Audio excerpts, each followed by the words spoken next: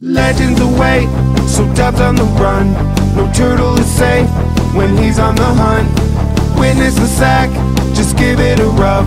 Cause who knows what you'll find. Toy hunting with Dub. Hello, everyone, and welcome to Kid Dub Life episode 2. Sorry for the very long wait, and I was able to meet Veronica Taylor and Eric Stuart at Ranger Stop recently, and I was able to have a press conference with that, and I wanted to show you all this. And I just want to say this one shouldn't, video shouldn't give you motion sickness because Brian filmed it. Kaiyah, who are they? Who are they? Oh, they are the voice actors Of what? of What are they?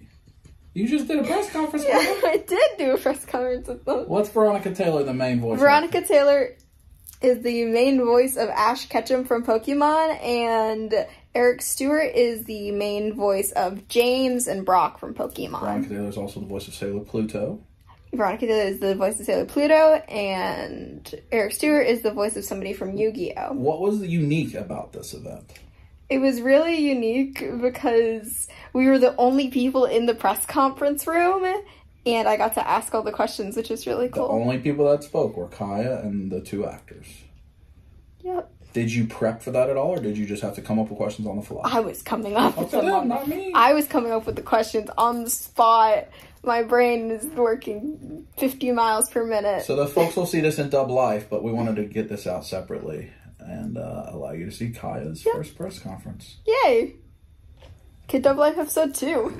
We've got our friends here. Kaiyah, what would you like to ask them? It's the Kaiyah press conference. Yes, so nice. Uh, thank you for joining us at our press conference. Yes.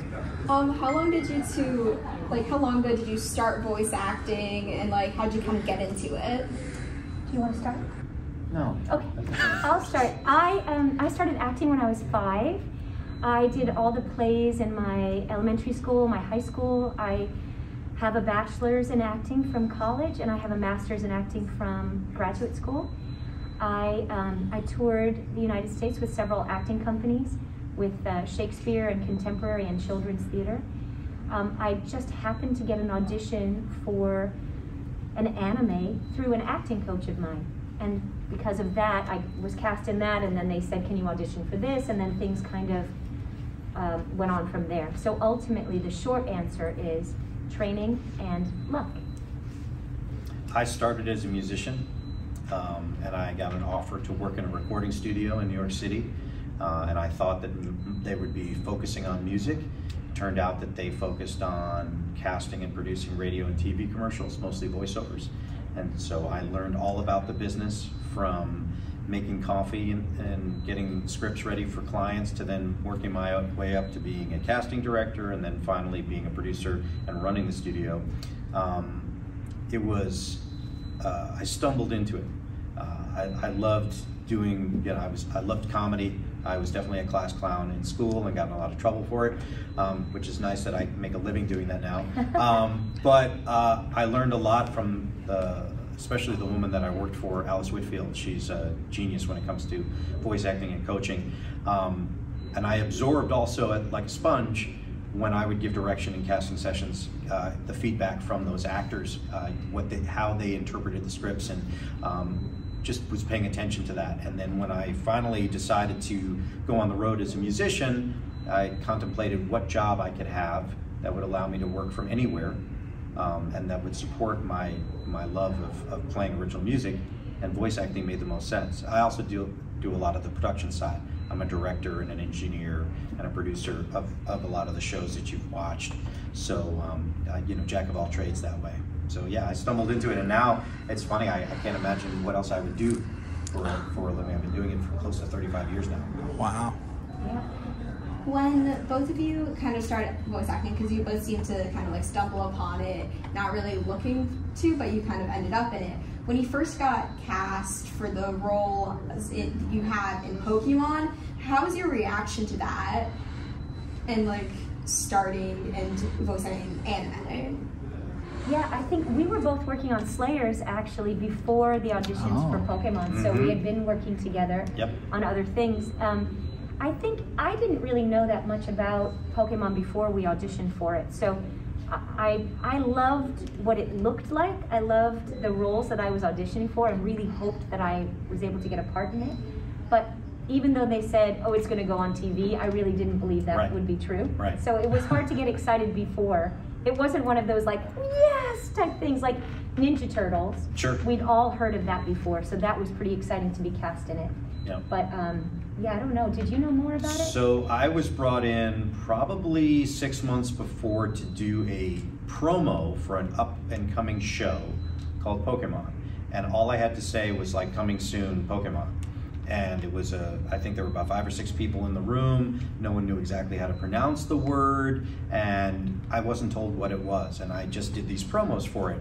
And I thought that's kind of interesting. And then I was brought in to audition for the show. Um, I actually didn't get any roles in the very beginning, which is kind of funny.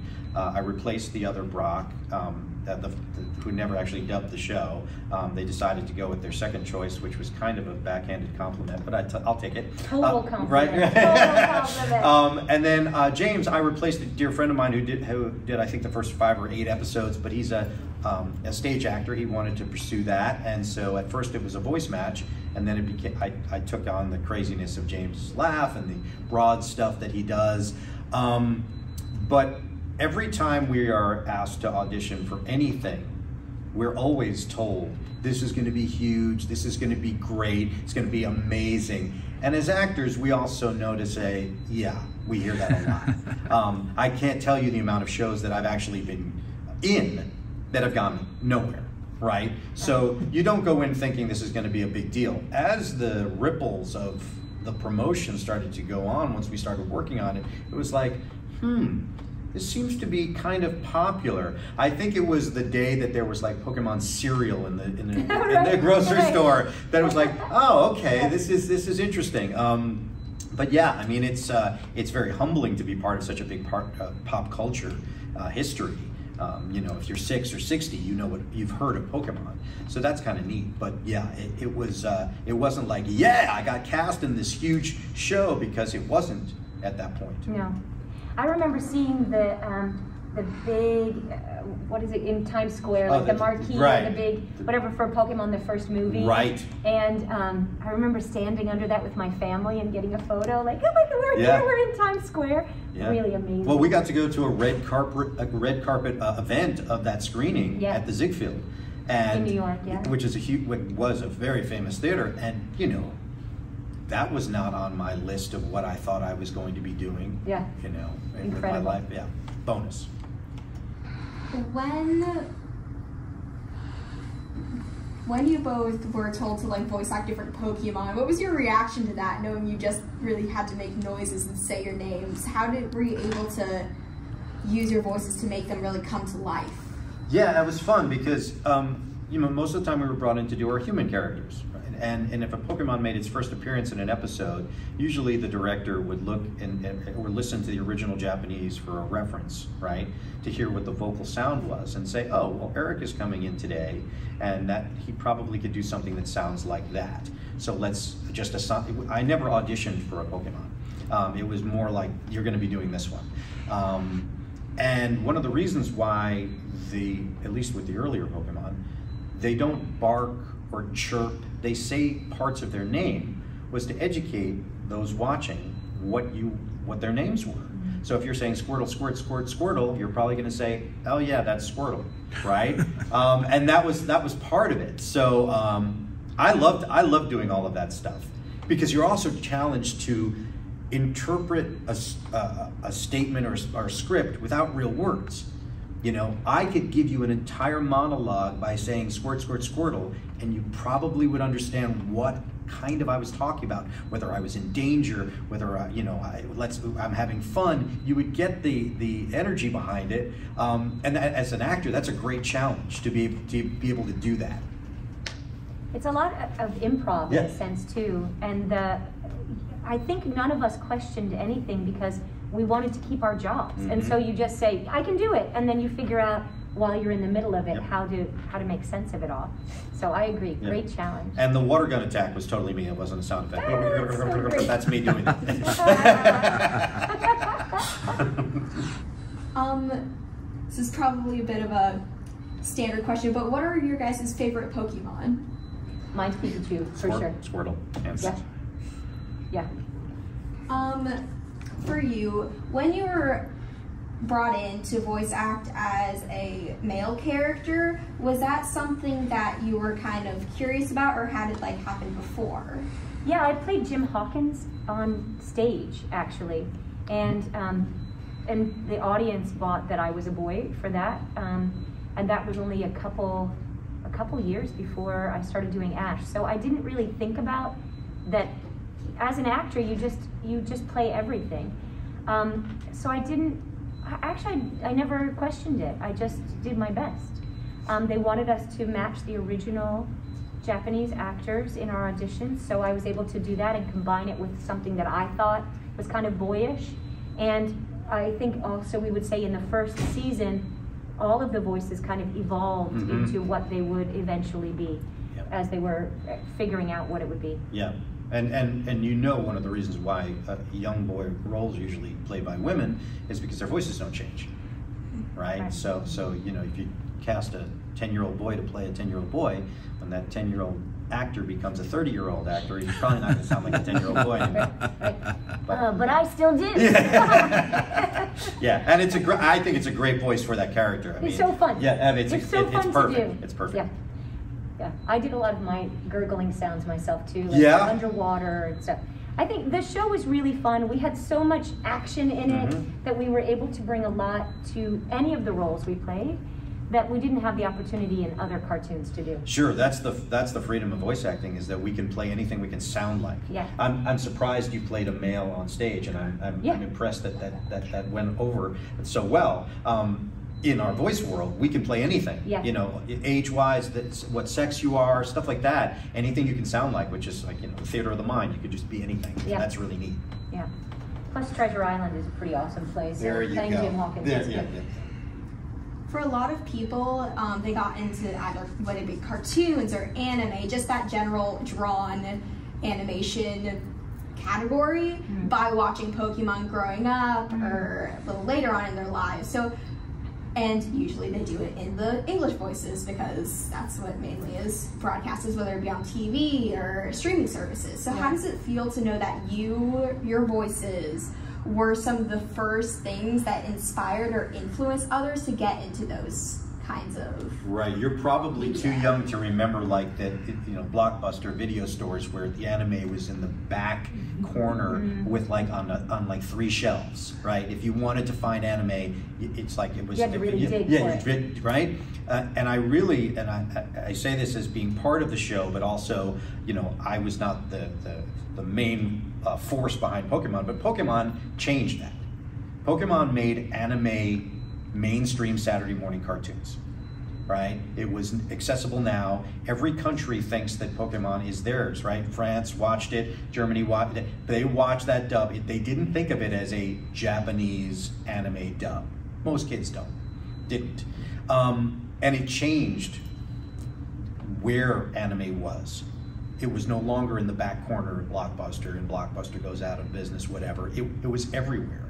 Um, so uh, I just I just think that it's it's interesting the way we made that a sort of a general show and not specifically for this one genre was kind of a neat experiment. And it really, I think that it made a big difference. I think Pokemon made, Definitely. made a big difference to that. It's really an honor to be part of something that that hit people so deeply. You know, and I think when when you watch it when you were 10 and when you watch it when you're 30, you realize how much you've learned from the show. I know I have as a person and as an actor. I realize as the years go by how much more I learned when I was working on the show. And it's it's really cool to be part of something like that. Mhm. There's certainly things that I watched when I was little that influenced where I am now. And it's it's really neat to be part of something that has influenced people, but then have the opportunity to come to a convention and talk to people about Sure. that. That's the other thing that we get to hear stories about people growing up, finding their best friends, all of that, Mhm. um, making their career choices, like you say, becoming an artist or a writer or an actor, and um, it's it's really amazing. Yeah. There's not, I don't have any the words to fully express how incredible that is. We had we had great, you know, er, in the early days we had some of the best writers working on that show. I mean, and, and also, it's not rocket science why that show is successful. All right, there there is something redeemable about every character. Um, you can connect to someone whether you like the good guy, the goofy bad guys, whatever. But under the underlying thing is there's always a moral Yeah. to those without being preachy. Yeah, exactly. And and and that makes a difference. Even when people are, oh, you know, it's it's too wholesome. It's too this. It's like, yeah, but see, that registers with people because it's a good message. And when cartoons don't have that, they might have better sound effects and louder music and more action. They don't have the longevity of a show like Pokemon because they don't have the core moral that is always there. Right. Whether it's the bond of friendship or whether it's you know um, learning a lesson about not doing something wrong and and uh, you know getting uh, forgiveness or whatever it may be, that's always been in there, and I think that that's that's what made that show last so long. I think too, um, what I learned somewhat recently, Satoshi Tajiri, he really loved bugs and he loved nature, and that's how, why he created this show. And there's something so elemental about it, so natural and Mhm. so natureful, that I think we can all identify with it wherever we live, whatever language we speak. Mhm. It speaks to us. So it is uh, pretty amazing. Yeah. So there that that was the interview. I hope that you all really enjoyed watching that. And for me, it was an incredible experience because a little over a year ago, um, I had never been to a con and never really thought I'd ever be able to go to a con. It kind of seemed like a, a dream, really. So being able to, a, a year from that now, interviewed the, these people who were the voices and things that I had started watching as a kid and even still do now. It was a really incredible experience. I want to thank Brian and mom and everybody who has helped me just kind of go and do these things and make this dream possible. And I had a lot of fun doing it. I hope that you all had fun watching it. And I wanted to thank you all for watching and thank everybody who was a part of it too. So I'm gonna wrap up the second episode of Kid Dub Life with a dip in it.